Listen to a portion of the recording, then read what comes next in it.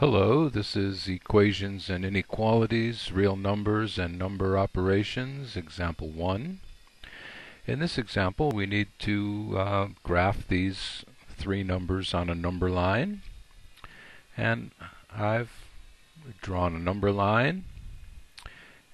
And uh, I'll put 0 there. And this is negative 1.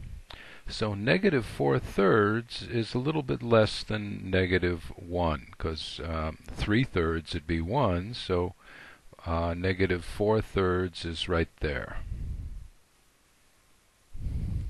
Square root of 2, I believe the square root of 2 is approximately 1.4. Yes, 1.41. So if this is positive 1 and this is positive 2, 1.4 is just a little less than 1.5.